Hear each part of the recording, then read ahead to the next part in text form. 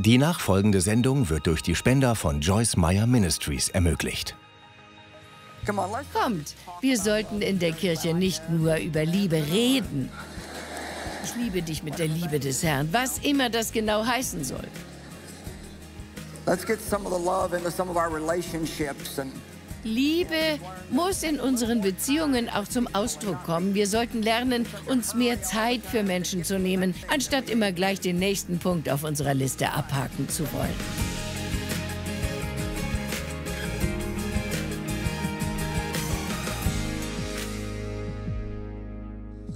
chapter 4. Kolosser Kapitel 4. Ungefähr die Hälfte dieses Kapitels besteht aus Grüßen, die Paulus an die Gemeinde in Kolosse schickt.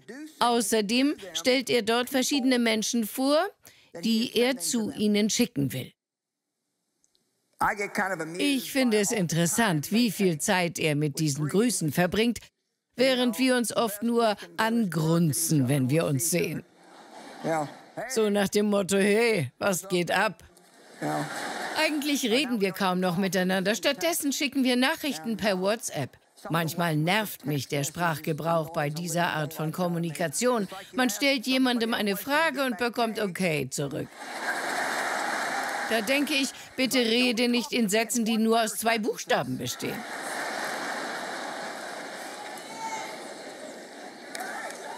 Oder? Hey, die moderne Technik ist eine große Hilfe, aber sie beraubt uns unserer Beziehungen.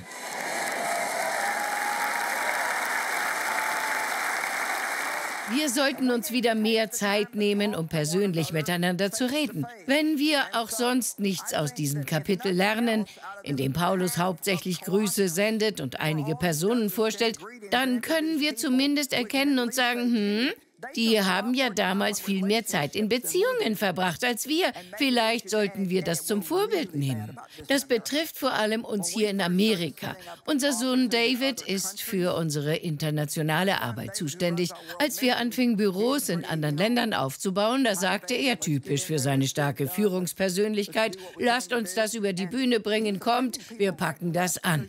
Dabei stieß er nicht wenige Menschen vor den Kopf. Ihr würdet staunen, wie viel mehr Wert man in anderen Ländern auf Beziehungen legt, als hier in Amerika. Wir konzentrieren uns nur darauf, etwas zu Ende zu bringen. Los, los, erledigen wir das und dann nimm dir die nächste Sache vor. Wir sollten uns jedoch mehr Zeit für Menschen nehmen. Come on. Na kommt. Wir sollten uns mehr Zeit nehmen, unseren Kindern zuzuhören.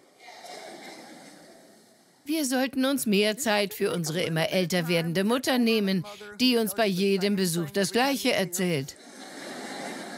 Nehmt euch ein bisschen mehr Zeit für sie, lasst sie doch mal reden. Sie ist einsam. Einmal saß ich im Wartezimmer eines Arztes. Ein älterer Herr saß ebenfalls dort. Er hatte sich das Bein gebrochen und er wollte die ganze Zeit mit mir reden, reden, reden, reden, reden. Ich hatte meine Bibel dabei. Ich wollte geistlich sein.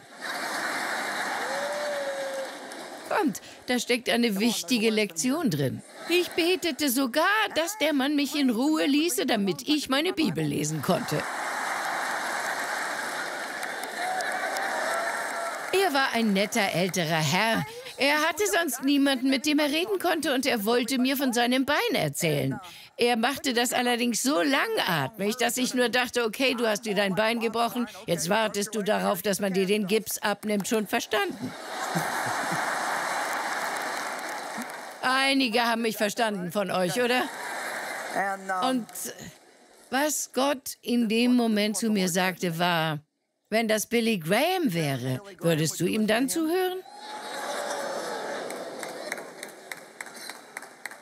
Ich dachte, klar doch. Ich hätte dann bestimmt gesagt, erzähl mir mehr, erzähl mir mehr.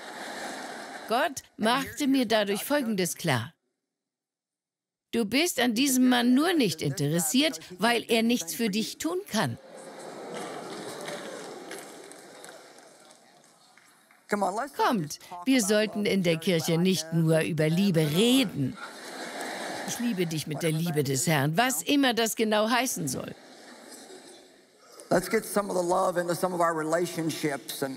Liebe muss in unseren Beziehungen auch zum Ausdruck kommen. Wir sollten lernen, uns mehr Zeit für Menschen zu nehmen, anstatt immer gleich den nächsten Punkt auf unserer Liste abhaken zu wollen. Obwohl Kolosser Kapitel 4 zum großen Teil aus Grüßen besteht, gibt es noch vier weitere wichtige Dinge, die wir aus diesem Kapitel lernen können. In Kolosser 4, Vers 2 heißt es, hört nicht auf zu beten und Gott zu danken. Paulus fordert uns auf, am Gebet festzuhalten und dankbar zu sein. Ich möchte ein paar Dinge zum Thema Gebet sagen. Erstens, Gebet ist keine Pflicht. Es ist das größte Privileg, das wir haben. Jedes Versagen ist ein Gebetsversagen. Es stimmt, wir sollten viel mehr beten.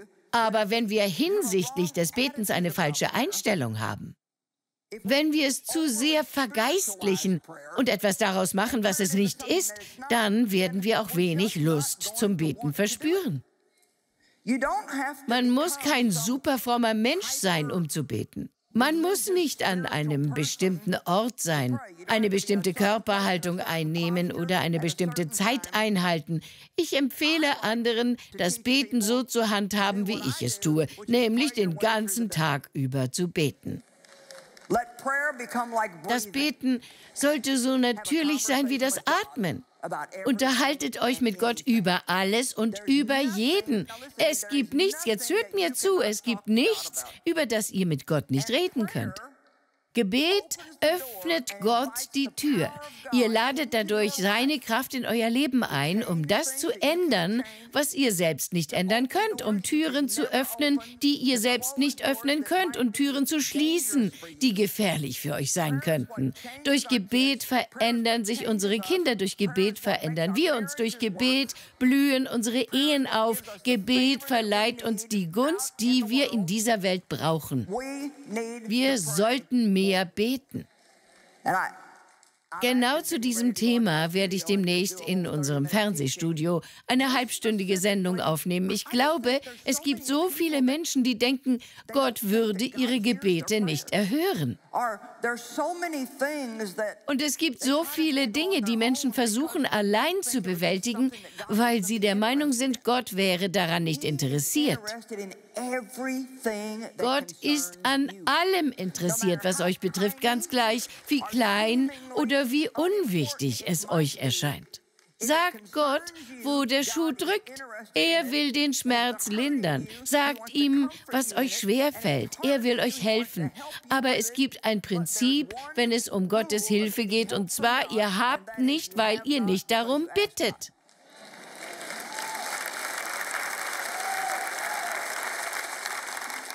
Hört nicht auf zu bitten dann werdet ihr empfangen. Hört nicht auf zu klopfen, dann wird euch die Tür aufgetan. Hört nicht auf zu suchen, dann werdet ihr finden. In Epheser 3, Vers 20 steht, durch die mächtige Kraft, die in uns wirkt, kann Gott unendlich viel mehr tun, jetzt hört zu, als wir je bitten oder auch nur hoffen würden. Betet mutigere Gebete. Bittet Gott um Dinge, die eure Vorstellungskraft sprengen, Dinge, bei denen ihr denkt, unmöglich. Bittet Gott im Glauben um Großes und denkt nicht darüber nach, ob ihr es eurer Meinung nach verdient habt oder nicht. Niemand von uns hat irgendetwas von dem verdient, was Gott für uns tut. Ihr solltet euch auch da nicht scheuen, wenn ihr mal richtig mies gehandelt habt. Wenn ihr einen nicht so heiligen Tag erlebt und nur mit Schuldgefühlen zu kämpfen habt. Ihr könnt den Teufel fuchsteufelswild machen, indem ihr an solchen Tagen Gott trotzdem um Hilfe bittet. Wisst ihr, dass Gebet eure Verteidigungswaffe Nummer eins gegen den Teufel ist? In einer anderen Übersetzung heißt es in Kolosser 4, Vers 2, wacht im Gebet mit Danksagung. Ich liebe 1. Petrus 5, Vers 8, dort steht, Seid besonnen und wachsam und jederzeit auf einen Angriff durch den Teufel, euren Feind, gefasst. Wie ein brüllender Löwe streift er umher und sucht nach einem Opfer, das er verschlingen kann. Dann im nächsten Vers heißt es in der Amplified Bibel, widersteht dem Teufel von Anfang an. Das gefällt mir. Wir müssen etwas mehr darauf achten, was los ist.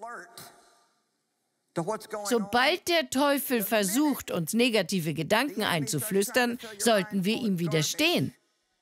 Sobald wir uns von jemandem beleidigt fühlen und eine Mauer zwischen uns und dem anderen aufbauen wollen, müssen wir sagen, Gott, hilf mir, das loszulassen und es zu überwinden. Ich weigere mich, diesen Tag wütend und verbittert zu verbringen. Wartet nicht, bis negative Einstellungen und schlechte Gedanken die Gelegenheit haben, Wurzeln in eurer Seele zu schlagen.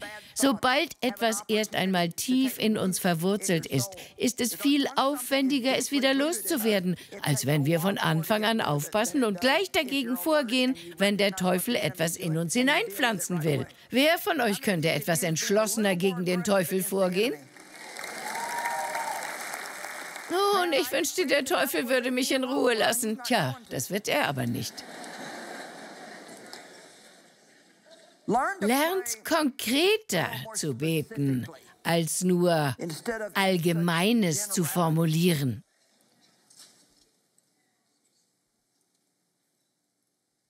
Hilf mir, Gott ist zwar ein gutes Gebet, aber wenn eines meiner Kinder zu mir kommen und Hilf mir, Mama sagen würde, wäre meine erste Frage, wobei brauchst du denn Hilfe?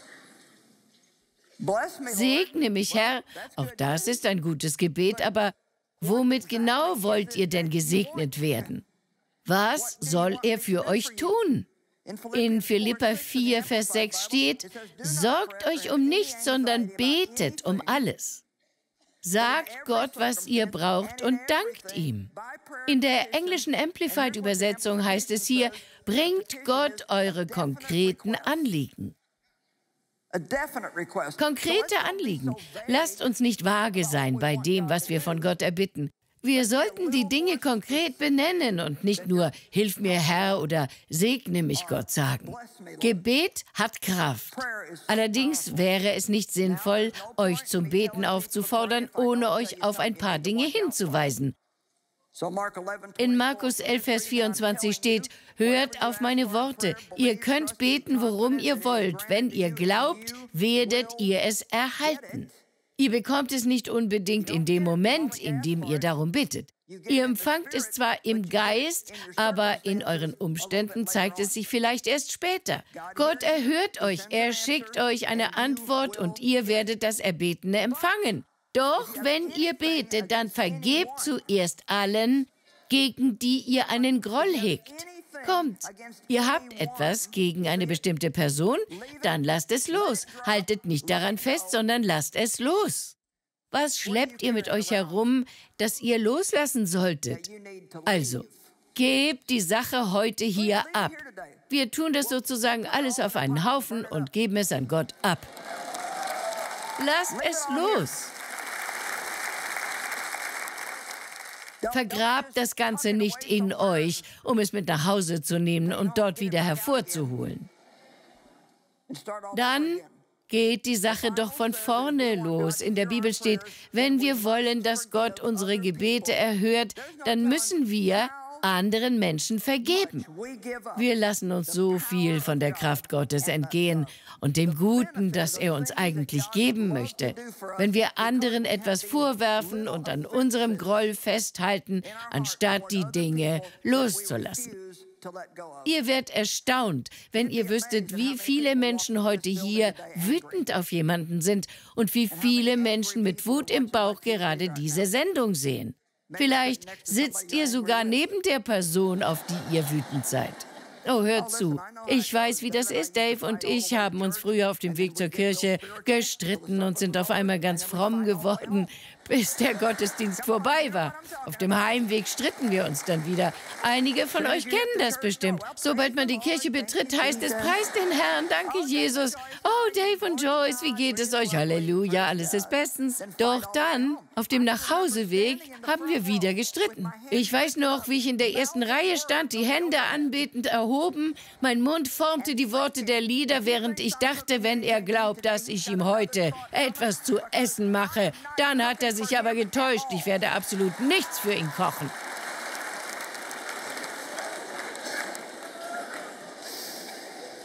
Hm. Mhm. Eines der Gebete, die ich gern spreche, steht in Epheser 3, Vers 16. Ich bete das regelmäßig für mich selbst, für diejenigen, die unsere Arbeit unterstützen und für meine Familie. Ich bete, dass er euch aus seinem großen Reichtum die Kraft gibt, durch seinen Geist innerlich stark zu werden. Der Heilige Geist kann unsere Persönlichkeit durchdringen. Ihr solltet froh sein, dass ich darum bitte, dass der Heilige Geist meine Persönlichkeit durchdringt, okay? Also betet, betet, betet und wenn ihr fertig seid, dann betet noch etwas mehr. Aber macht daraus keine religiöse Sache. Macht daraus nichts Anstrengendes, weil ihr sonst die Lust daran verliert. Redet mit Gott einfach über alles. In Ordnung? Amen. All right. Gut. Kolosser 4, Vers 5. Lebt klug unter den Menschen, die keine Christen sind und macht aus jeder Gelegenheit das Beste. Wir sollten Weisheit walten lassen. Wir sollten unsere Zeit und unsere Chancen nutzen. Okay, unterhalten wir uns mal kurz darüber.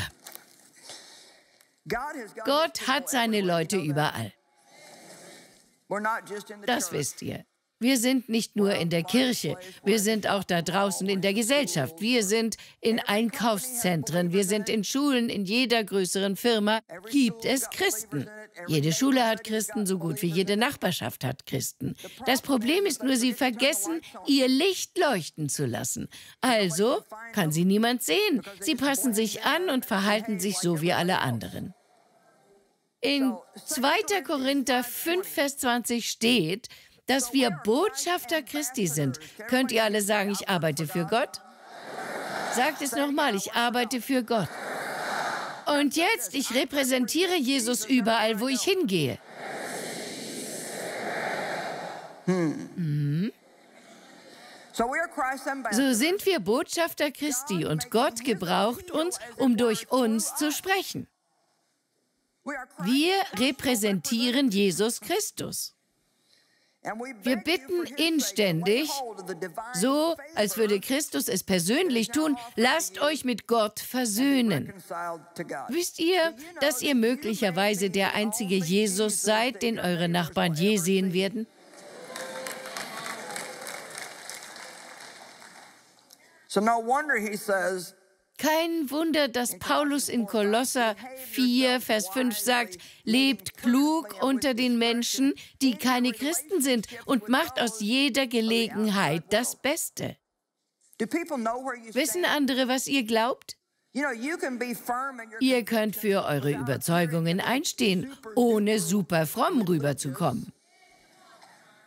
Wenn ihr euch so aufführt, als wärt ihr besser als alle anderen, möchte natürlich niemand etwas mit euch zu tun haben. Hier sind einige Verhaltenstipps. Diese werden euch im Umgang mit allen Menschen zugutekommen, besonders aber in eurer Beziehung zu Nichtchristen. Sorgt dafür, dass sie sich wertgeschätzt fühlen. Sagt ihnen etwas, das sie ermutigt. Wenn andere Menschen Zeit mit uns verbracht haben, erinnern sie sich häufig nicht mehr an das, was wir gesagt haben, aber sie erinnern sich immer an das Gefühl, das wir ihnen vermittelt haben.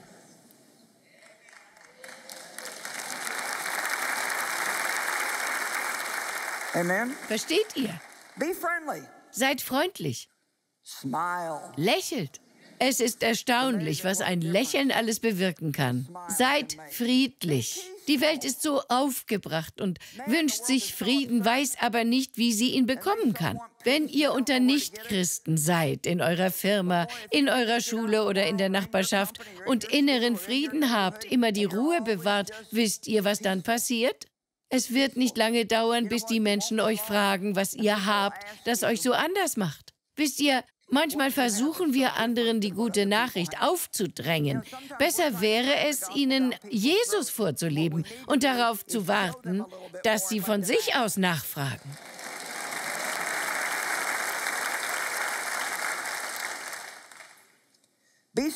Seid beständig. Seid im Umgang mit allen Menschen immer die gleiche Person. Macht euren Gemütszustand nicht von Umständen abhängig. Seid nicht so wie alle anderen. Seid ein Vorbild und seid beständig. Ich möchte euch eine Frage stellen. Wie viele Versionen von euch bekommen eure Mitmenschen zu Gesicht? Bekommen die Menschen im Gottesdienst eure Sonntagmorgen-Version zu Gesicht und eure Kollegen eine ganz andere Version? Come on. Na kommt. Zeigt Mitgefühl, zeigt Verständnis, kümmert euch um Menschen, seid großzügig. Sich die Zeit zu nehmen, anderen Gutes zu tun und sie wertzuschätzen, gehört zu den wichtigsten Dingen, die ihr tun könnt. Kommen wir zum dritten Punkt in Kolosser 4. Ich weiß, ihr habt das nicht nötig, aber sprechen wir trotzdem mal darüber. Redet Oh oh, hier geht es um unsere Worte. Redet freundlich und klar mit ihnen, damit ihr wisst, wie ihr jedem Einzelnen am besten antworten sollt. Unsere Worte sollten stets passend sein und die richtige Würze haben. Bei dem vierten Prinzip geht es um geistliche Reife und ich will diese beiden Punkte mal miteinander verbinden. Woher wissen Menschen, wie reif wir geistlich sind und wie wichtig ist geistliche Reife? Paulus hat gesagt, dass er sich zum Ziel gesetzt hat, andere zu lehren und sie vor Gott als Menschen hinzustellen, die im Glauben an Jesus wirklich reif geworden sind. Ich liebe das. Wisst ihr, das ist die Aufgabe von uns Bibellehrern. Unsere Aufgabe ist nicht nur, euer Selbstwertgefühl zu stärken. Das gehört zwar dazu, aber manchmal müssen wir auch sagen, es ist an der Zeit, diese Einstellung aufzugeben. Unsere Aufgabe ist es, euch zur geistlichen Reife zu verhelfen, damit ihr der Gesellschaft gute Vorbilder sein könnt. Unsere Aufgabe besteht nicht darin, euch 25 Wege aufzuzeigen, wie ihr alle eure Wünsche erfüllt bekommt. Jetzt fangt nicht an zu gähnen. Ich muss hier heute richtig ackern, um zu euch durchzudringen. Kommt das bei euch an? Jedem Menschen zur geistlichen Reife verhelfen. Bestimmt habt ihr schon Vorträge über die Macht der Worte gehört. Das, was die Bibel über das Mundwerk zu sagen hat, ist euch nicht neu. Ich wiederhole es trotzdem, Sprüche 18, Vers 21. Wer gern redet, muss die Folgen tragen, denn die Zunge kann töten oder Leben spenden. Unsere Worte wirken sich nicht nur auf andere Menschen aus, sondern auch auf uns selbst. Je mehr Gutes wir reden, umso besser fühlen wir uns. Wisst ihr, dass unsere Worte sehr viel über uns offenbaren? Wenn ihr euch ein Bild von der geistlichen Reife eines anderen machen wollt, hört ihm mal ein bisschen länger zu, verbringt einen Tag mit ihm und achtet darauf, was er sagt. Das vermittelt uns ein ziemlich gutes Bild. Wie viel tratscht die Person? Wie viele Geheimnisse anderer plaudert sie aus? Wie zuversichtlich ist sie? Wie negativ ist sie? Wie viel Zeit verbringt sie damit, über all das Schlechte in der Welt zu reden, statt darüber, wie gut Gott ist? Hey, hört zu. Ich weiß, wir haben Probleme in der Welt. Aber ich sag euch das, wir müssen uns in unseren Gesprächen nicht so sehr darauf versteifen, dass wir immer nur darüber reden und reden und reden. Gott ist immer noch Gott. Versteht ihr? Also, in 1. Korinther 3, Verse 1 bis 3 spricht der Apostel Paulus die mangelnde geistliche Reife seiner Leser an. Ab Vers 1, 1. Korinther 3, Vers 1. Liebe Brüder, als ich bei euch war, konnte ich nicht so mit euch reden, wie ich es mit Menschen, die im Glauben gewachsen sind, getan hätte. Ich musste mit euch reden, als würdet ihr noch zu dieser Welt gehören oder als wärt ihr kleine Kinder im Glauben, die noch nicht sprechen können. Was meint er bloß damit? Natürlich konnten seine Leser sprechen. Er sagt im Prinzip, ich weiß, dass ihr geistlich unreif seid, weil ich gehört habe, wie ihr untereinander redet. Wisst ihr, auch wenn ihr negative Dinge über euch selbst sagt, ist das ein Symptom von geistlicher Unreife. Sagt nicht, ich bin so dumm, sondern Jesus schenkt mir seine Gedanken. Sagt nicht, ich bin so hässlich, sondern ich bin im Bilde Gottes geschaffen und er erschafft keinen Müll. Versteht ihr? Sagt nicht, ich werde nie etwas Gutes erleben, sondern mir kann jeden Augenblick etwas Gutes widerfahren. Jesus hat gesagt, meine Worte sind Geist und Leben. Wissen Sie was? In unseren Worten wohnt dieselbe Kraft und dasselbe Leben. Deshalb sollten wir darauf achten, Dinge auszusprechen, die anderen Menschen gut tun.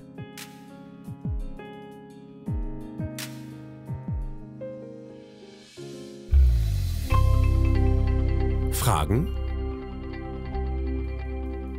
Schreiben Sie uns eine E-Mail. Unser Team hilft Ihnen gerne weiter.